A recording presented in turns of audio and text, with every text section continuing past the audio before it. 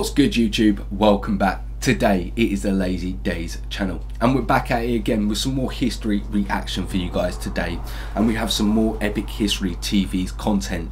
And it's the Napoleonic Wars series. And we've got Napoleon's Spanish ulcer, Spain 1809 to 1811 we're really enjoying this series over this channel it's really Yeah. interesting to see what sort of uh, Napoleon uh, has done apparently we're now sort of on the downfall of his sort of reign so Yeah, his first defeat and his last major victory. yeah, so we will have a look at see what sort of happens from here. If you're enjoying our content, then please like, comment, subscribe, hit that notification bell. A link for Epic History TV content will be down low, down low, down below.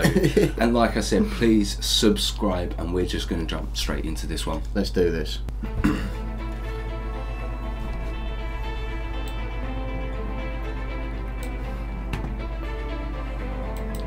This war was my downfall. Napoleon Bonaparte. In 1809, Napoleon Bonaparte, Emperor of the French, was at the height of his power. He had just won another crushing victory against Austria at Wagram and imposed a humiliating peace treaty. But the war he'd started in Spain and Portugal, with his ill-judged invasion the previous year, continued to rage. Okay. Napoleon had placed his own brother Joseph on the Spanish throne, uniting a proud country against him. His troops had dealt ruthlessly with popular uprisings, while routing a succession of Spanish armies. In February 1809, Marshal Lannes overcame the heroic defence of Zaragoza in a brutal siege that cost 54,000 Spanish lives and 10,000 French. Yeah. But still, the Spanish and Portuguese remained defiant. And three months after their escape from Corunna, the British were back. In April, Sir Arthur Wellesley We always return. Yeah, we we always return. Portuguese army. We love a British little redcoats meddling. would fight alongside Portuguese troops, who, with the help of British training, would soon prove themselves highly effective. Hmm, very decent. Three weeks after arriving in Portugal, Wellesley moved against Marshal Soult's Second Corps, Okay. which had recently taken Porto. Soult and his troops, preoccupied with plundering the region, had no warning of the British hmm. advance, and were soon in headlong retreat, back through the mountains into Spain.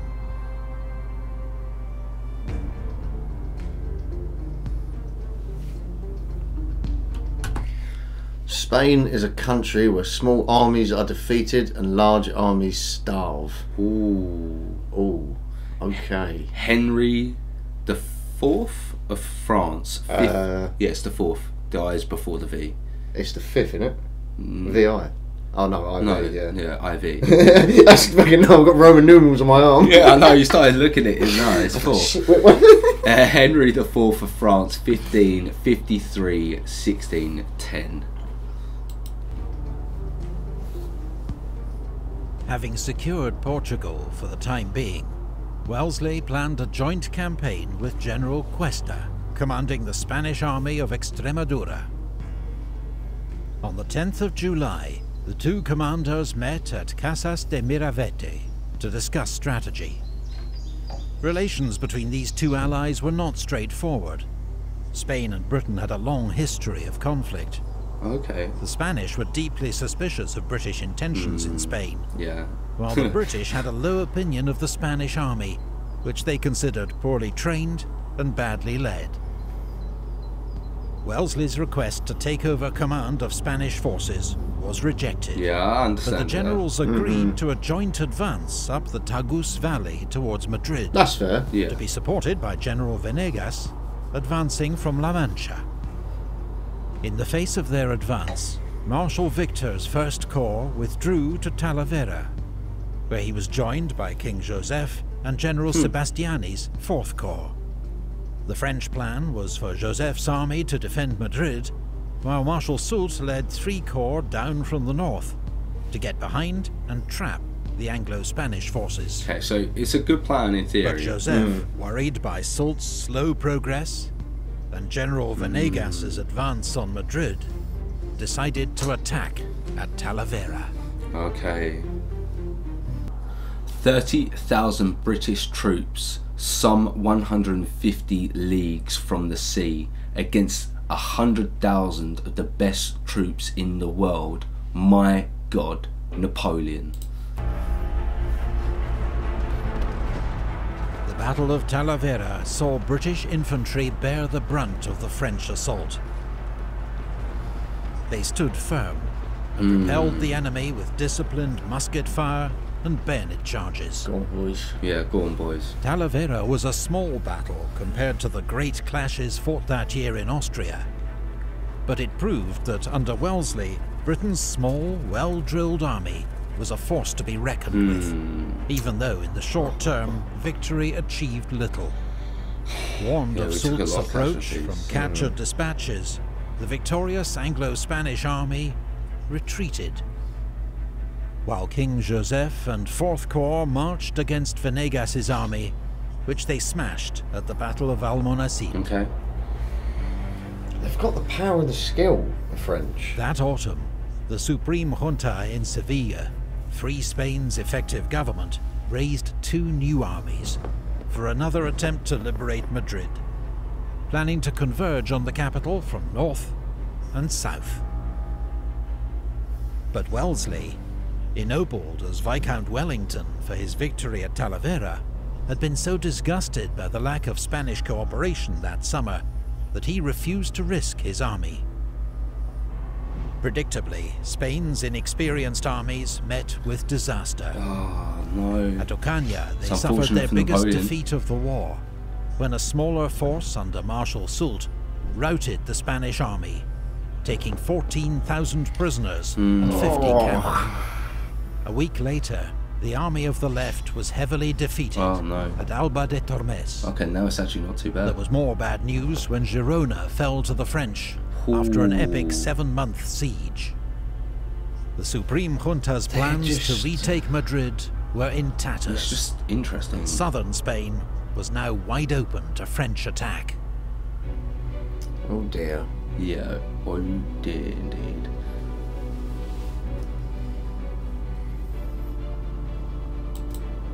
My object is not to obtain submission by force, but to dispel illusion. I will arrive at a uniform of hearts. Joseph Bonaparte. Hmm. In January 1810, King Joseph marched south with an army of 60,000 men.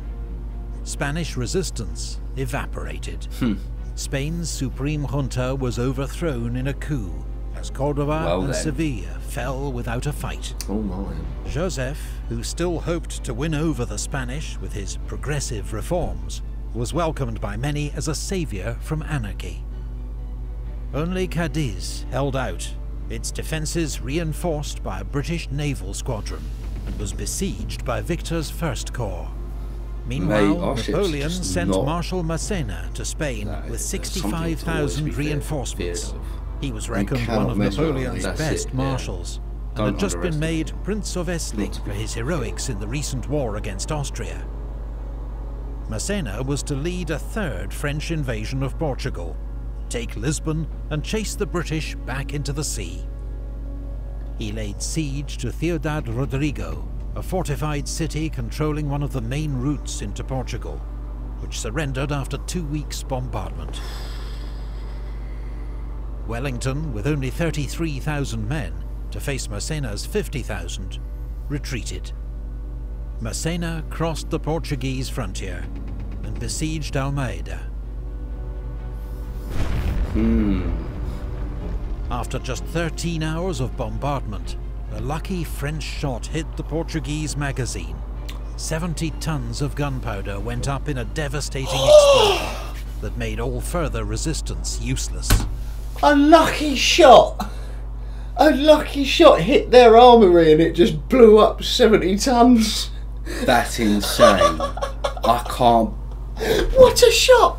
What Mate, a shot! What a shot. Just ending there after 13 hours. Imagine just seeing that explosion and just going, think we did it. Can you imagine arguing with the lads when you're loading that cannon? You fire it, you argue, and then you just hear that. That's it. Like, like, like one of them's gone. No, we need to be doing this way, and you're like, no, it's this, it's this. You fire it, and you just turn around. You're like, told you so.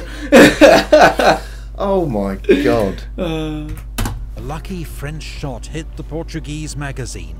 70 tons of gunpowder went 70 up in a devastating explosion that made all further resistance useless. God, I wouldn't want to live there.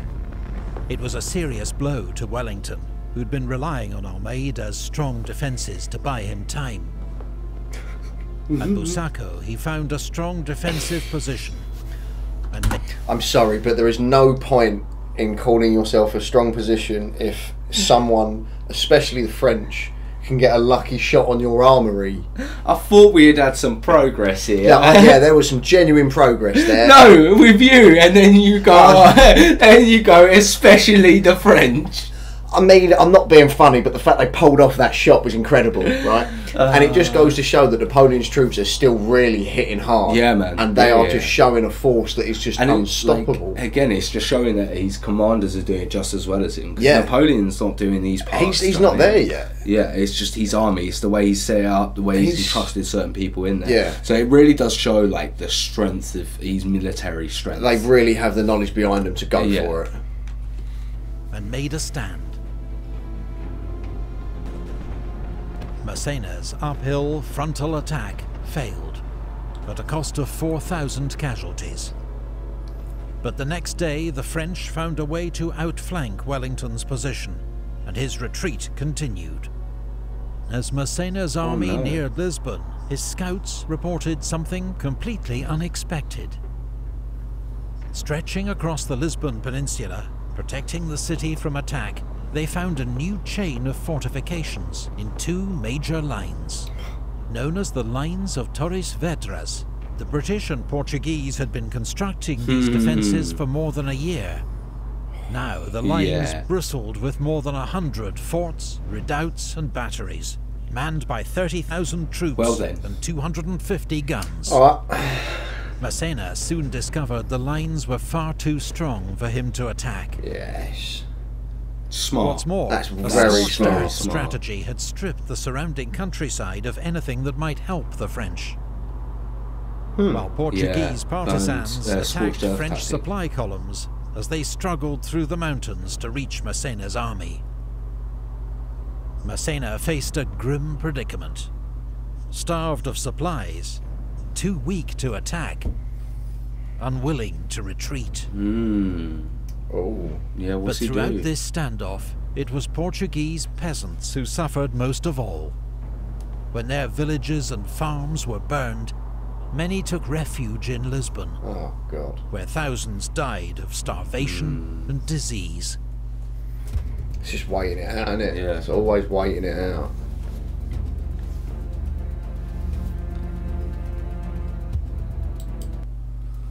So, Prince of Eslin, you are no longer Messina? Messina. Messina. So yeah. So, so Prince of Eslin, you are no longer Messina. Napoleon to Marshal Messina. Butchered it, but you know. We try, Back guys. Yeah, we try. Napoleon had been preoccupied with his divorce from the Empress Josephine, and then a new marriage to Archduchess Marie Louise, daughter of the Emperor of Austria. She was now expecting their first child. Okay. Nevertheless, So from Paris, Napoleon sent frequent orders to his marshals in Spain and Portugal, urging them to take more aggressive action. But when these orders arrived, weeks later, they were usually out of date and showed little understanding of the problems his marshals faced. Hmm. He now ordered Soult, based in Andalusia, to go on the offensive to draw enemy forces away from Lisbon, so Massena could take the city. Soult laid siege to Badajoz, a fortified city that controlled the southern route into Portugal. When 12,000 men of the army of Extremadura marched to its relief, they were routed by Soult, after which Right. the city tamely surrendered, giving up 8,000 prisoners vast quantities of stores. Okay, so that's a good win for It was another heavy blow to Spain's armed forces. But remarkably, despite such disasters and their many blundering generals, the Spanish troops remained willing to fight. The courage of the rank and file undimmed. Mm, That's that's good morale. yeah, that is good. morale. Victor's first corps, besieging Cadiz, had now been so weakened to support other operations that the Anglo-Spanish garrison decided to attack. The Allies landed along the coast to strike at the French siege lines from the rear. But they were ambushed by the French at Barossa. Despite heavy losses, the Anglo-Portuguese rearguard fought off the enemy, but a furious falling out between British commander Sir Thomas Graham hmm. and his Spanish counterpart General La Peña threw away any advantage. Soult, alarmed at these developments, marched back to Andalusia. Meanwhile, Massena, out of food and with no prospect of reinforcement, had no option but to retreat. Wellington's army pursued, discovering evidence of several appalling atrocities committed by the French against Portuguese villagers. Hmm. Oh God. Yeah. There were running Disgusting. battles with the French rearguard, brilliantly commanded by Marshal Ney, Fucking French. until he was sacked by Massena Everyone for done it, criticising Jack. his Yeah, leadership. true. It's just disgusting. Having chased the French It's out of just, Portugal, yeah. Wellington besieged Almeida. Massena's army, now rested and reinforced, marched to its aid. The two armies clashed again at Fuentes de Oñoro. In two days of heavy fighting, Massena failed to break through Wellington's position to relieve Almeida. The fortress fell the next week, but to hmm. Wellington's fury, British bungling allowed most of the French garrison to escape. Okay. Massena had lost 25,000 men in Portugal. Now he'd lost Almeida too, and a string of bad decisions, not least to bring his mistress with him on campaign, had cost him the respect of his. The Marshal, whom Napoleon had once nicknamed the Dear Child of Victory, was recalled to France in disgrace, never to hold senior command again.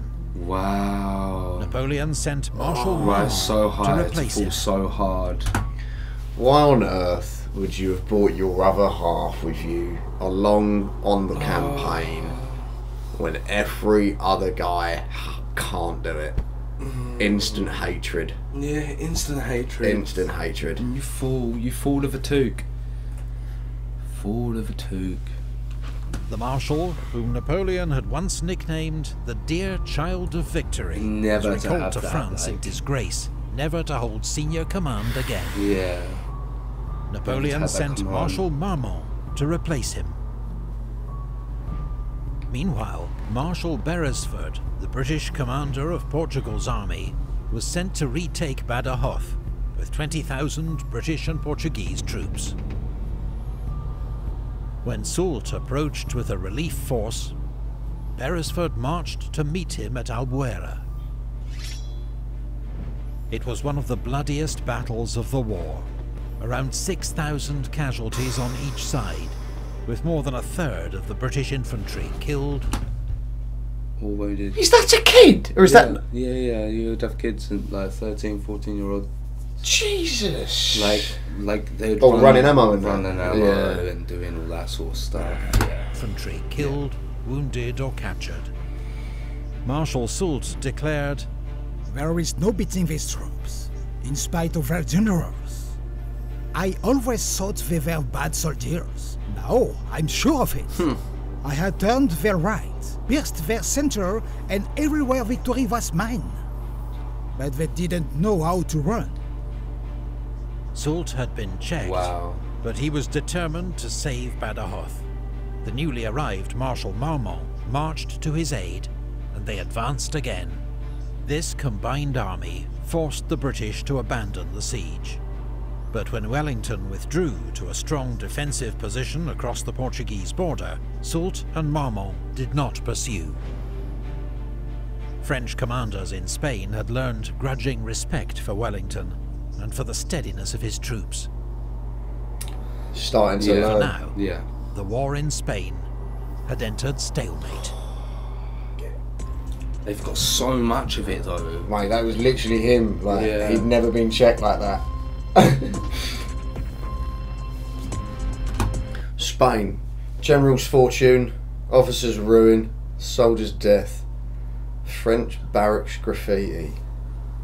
Now that that's interesting. Mm-hmm. That is interesting. While British, French, and Spanish armies crisscrossed Spain and Portugal, another war was fought every day in the mountains, hills, Okay. and woods. What's going on here? From 1808, Spanish and Portuguese civilians.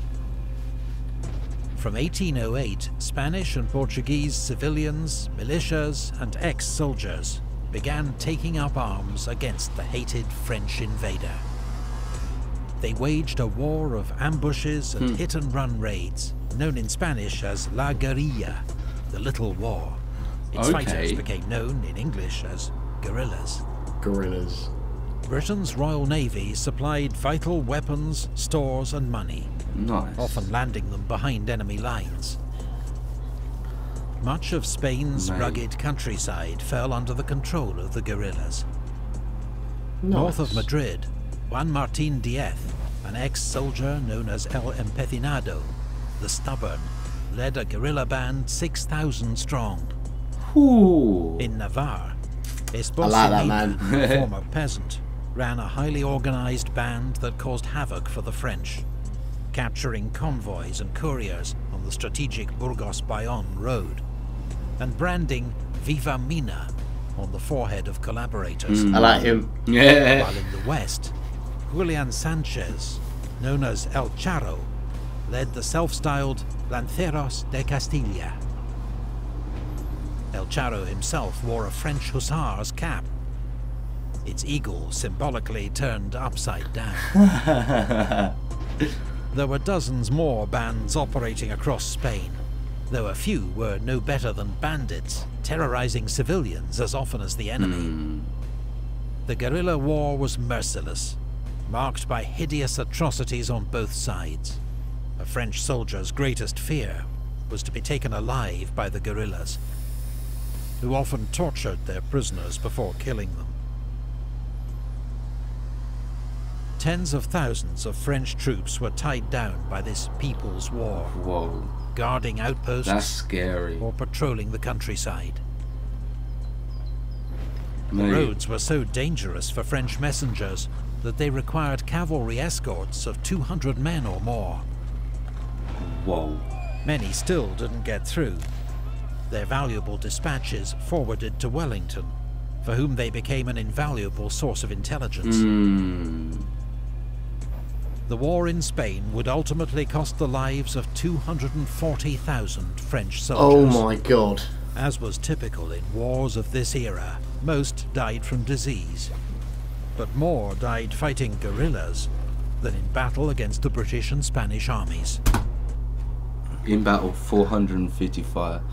That is Yeah, take- take insane. the, um, yeah. Uh, 45,000. So 118,000 died from sickness, accidents, or other causes. Guerrilla war. The guerrilla war took nearly 80,000. Yeah, yeah, yeah. In the, like the guerrilla wars, like the warfare, Yeah, the yeah, yeah. civilian uprising, They the took- Six, 76,650 lives, but in battle it was only 45,000. Nearly double. Yeah, yeah. Oh my god, they were ruthless. hmm hmm And obviously there'd be a lot worse ways as well. Oh yeah. Yeah, that's insane. And I think that's just soldiers. it was the twin threat, a well-led doesn't regular army. Under the French, Wellington yeah. and a popular insurgency that left the French facing an impossible strategic dilemma. If their armies remained dispersed to fight the guerrillas, Wellington could attack. But if they concentrated to defeat Wellington in battle, huge swathes of the Okay. country would quickly fall to the Napoleon's guerrillas. old tactic. This swift was. Napoleon's Vietnam, Oh. or his bleeding ulcer, as he called it. Hmm. A war that cost his empire an average of 100 casualties every day, with little prospect Wow. of victory. And in 1812, as Napoleon launched his gigantic invasion of Russia, Wellington and the guerrillas launched their own offensive that would turn the war in Spain on its head. Oh no. Um, Ah, it's always people's mistakes. it's like, mistakes. It's their own. It's their little voice in their head going, "No, we don't need to listen to him. We don't." Need why, to, don't why take no." on two fronts, deal with one problem You- before yeah, you you- fucking you don't make need to another deal with? Russia. Russia isn't an issue at the Ah, minute. I think it is an issue. We're just missing something. But Yeah. hopefully, we will find out in the next episode. If you guys are enjoying our content, then please like, comment, subscribe, hit that notification bell, and we're gonna catch you in the next one. See you in a bit.